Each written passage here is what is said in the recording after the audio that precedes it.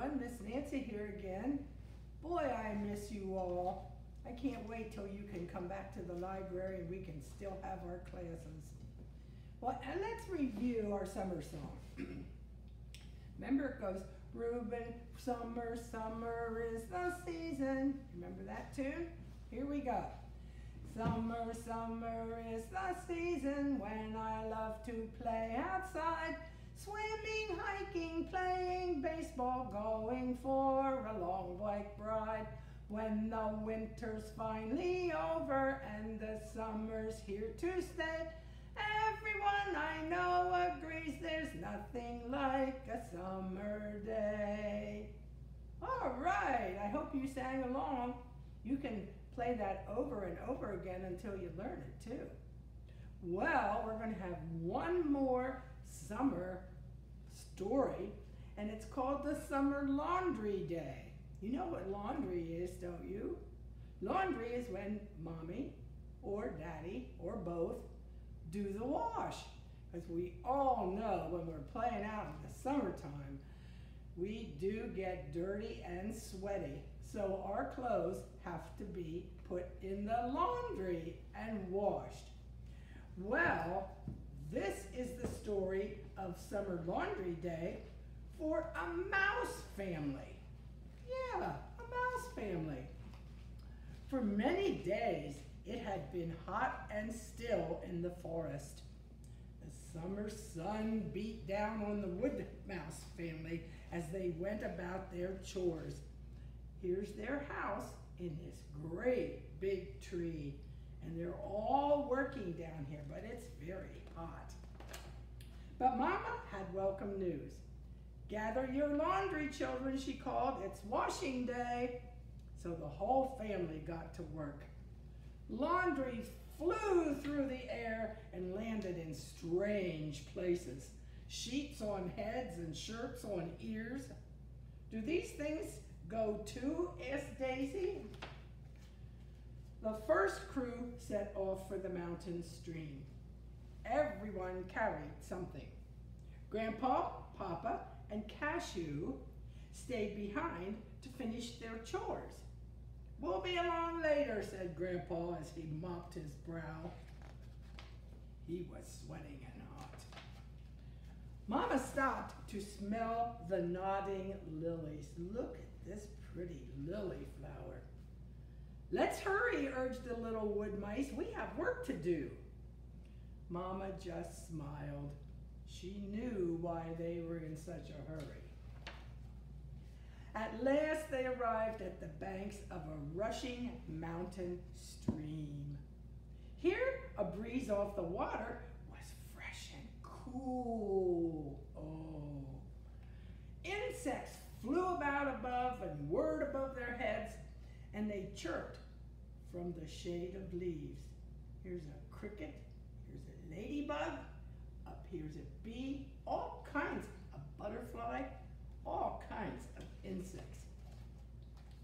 Mama and her washing crew cooled off in the stream while they waited for Grandma and the others.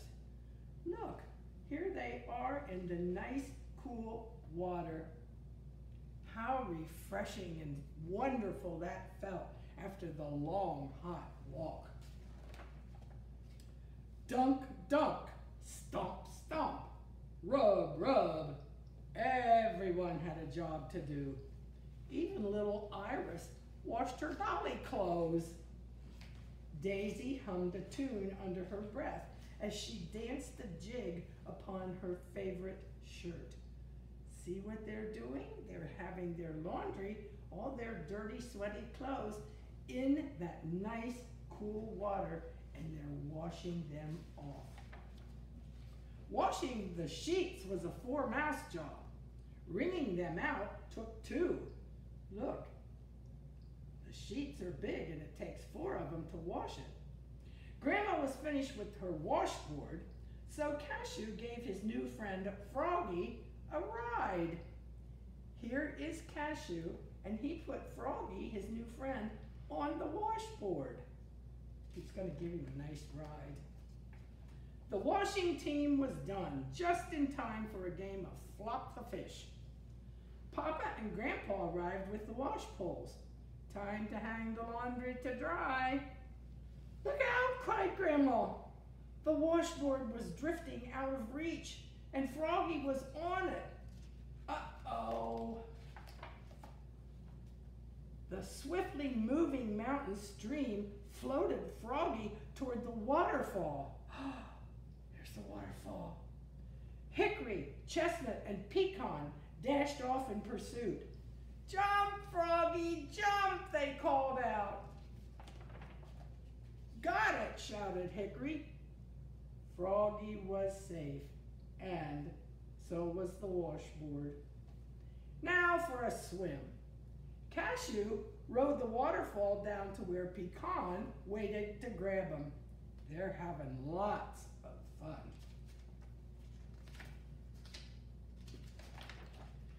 Papa and Grandpa had put up the drying poles. Look up here. They strung the, the clotheslines between branches of the trees. How neat is that? Come on up, they called over. We'll dry the laundry in the breezy treetops. So six very clean mice climbed out of the stream. High in the tree, the laundry flapped in the breeze, and soon everything would be dry, except Cashew's shorts, which were headed back down to the stream. The wood mouse family relaxed while the breeze did its work. Some swung in the hammocks made from clean sheets, and others enjoyed the view from their lofty high perch up in the tree little pants, little shirts, pajamas, and sheets.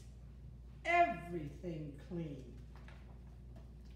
With the laundry clean and dry, the wood mouse family was ready to go home.